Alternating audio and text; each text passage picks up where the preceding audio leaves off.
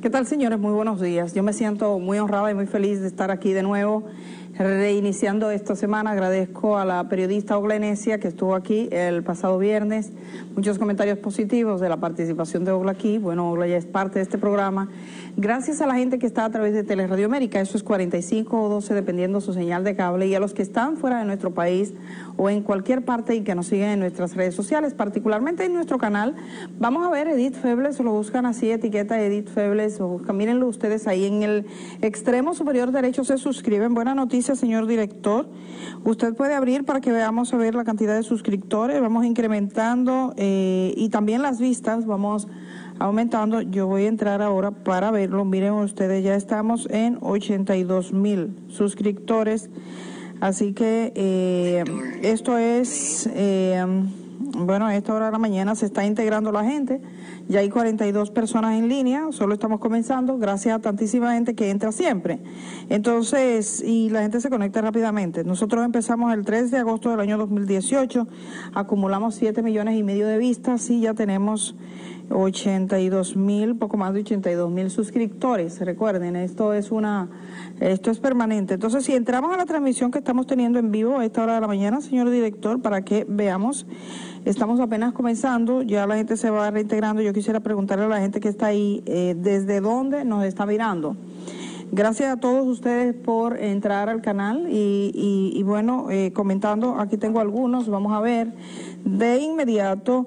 Eh, tengo a eh, desde Pensilvania, saludos, buenos días Edith, muy buenos días, buenos días Juana Díaz, buenos días Hilda Gutiérrez, buenos días Águeda, buenos días Carlos Mejía, saludos para ustedes desde donde estén.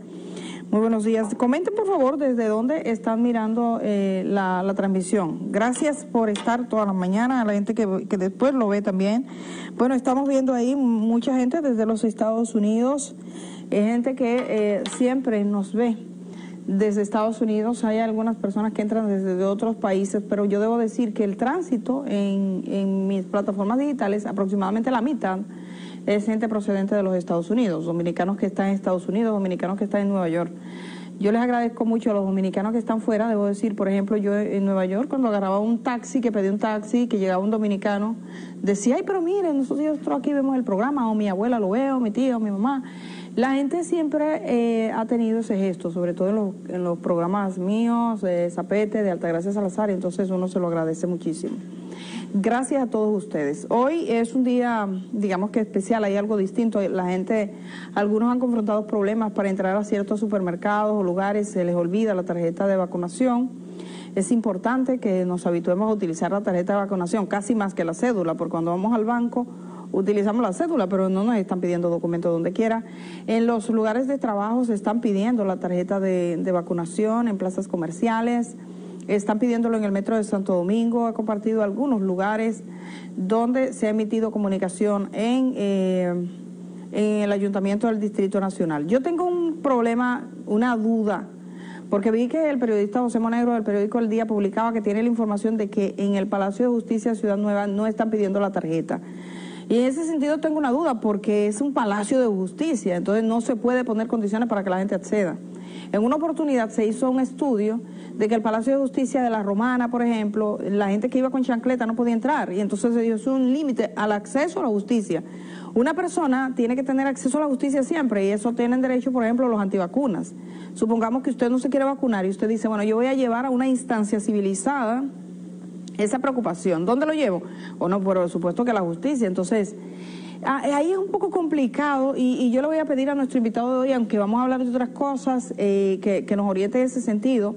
Olivo Rodríguez Huertas ya está aquí en nuestros estudios porque tengo la duda específicamente con ese lugar debería existir ciertas, eh, ciertas excepciones que se pueden comprender. A mí me parece que el Palacio de Justicia, por ejemplo, las fiscalías, los lugares donde la gente pide protección, tutela de derechos, no debe estar condicionado a nada de esto porque eh, alguien que no se ha vacunado puede perfectamente decir, y voy por donde el fiscal a decirle que o, eh, es una cuestión de derechos. Yo, yo tengo muchas dudas con eso. Sabemos que prevalece el derecho a, la salud, colectiva puede entender perfectamente el metro, puede entender los bares, en las sobre todo los lugares de chercha, que es donde más gente contagia. Vamos a, vamos a estar claros que aquí el gran teteo es el teteo es en, en los lugares de diversión.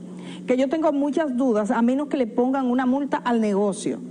Yo estaba, eh, por ejemplo, en la parte de Santo Domingo, me fui por ahí después del Merca a visitar y a comprar algunas cosas que, suelo ir al Merca, hay sitios que venden orquídea y demás, y yo vi lugares que son de negocios, de, de colmadones, eso atestado de gente, todo el mundo gente junto y bebiendo. Esos son los lugares. Entonces un policía llega allí, tienen que mandar un contingente de la policía soberbio. Yo creo que no tiene caso. El caso es al dueño del negocio. Usted no tiene que ir, el policía, sean inteligentes, no se busquen lío ustedes que después terminan presos con la gente. No, no, no.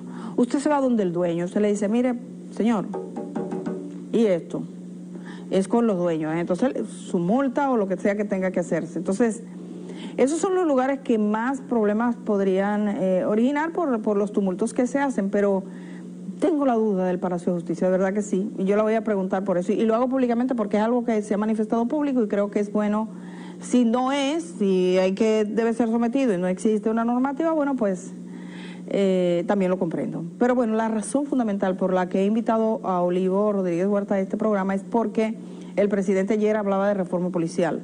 Es un tema que cada una y otra vez, eh, cada mandatario va sobre eso, barrio seguro, eh, ciudad segura, todo con seguro en nuestro país. Sin embargo, no prospera. Quisiera revisar con Olivo Rodríguez Huerta las propuestas del presidente, que hasta donde se ve, probablemente sean las más profundas que se han adoptado eh, en todos los procesos de reforma de la policía o que se anuncian que se van a adoptar, incluyendo los chalecos con cámaras, los vehículos con con una eh, que tienen unos equipos que permiten monitorearlo en tiempo real, incluyendo los sonidos, dónde van, dónde se mueven, a qué hora están, todo eso. Eso es muy importante. Así que vamos a conversar con él. Vamos a ir a la pausa. Cuando regresemos, estamos sobre estos temas y no olviden su tarjeta de vacunación. Dicen en algunos puntos que lo aceptan digital, incluso la banca. Entonces, haga una fotografía, póngalo como fondo de pantalla para que no tenga que estar, espérese un momento para ver. Fondo de pantalla, por un tiempo, fondo de pantalla, usted lo tiene ahí a mano, fondo de pantalla o, o entrada directa. Le dice al nieto mío, ponme eso, entrada directa. Le pone directo y yo he ido aquí a muchos lugares, incluyendo cuevas. Hay gente en Santo Domingo que vive literalmente en cuevas. Puede faltar una cama, pero no falta un celular. Así que agarrarse del celular puede ser una buena alternativa. O plastificarlo y ponerlo contra su cartera o en las llaves del vehículo y, y así facilitarse la vida, porque estamos aprendiendo a vivir con eso. Regresamos de una vez, señores. Buenos días.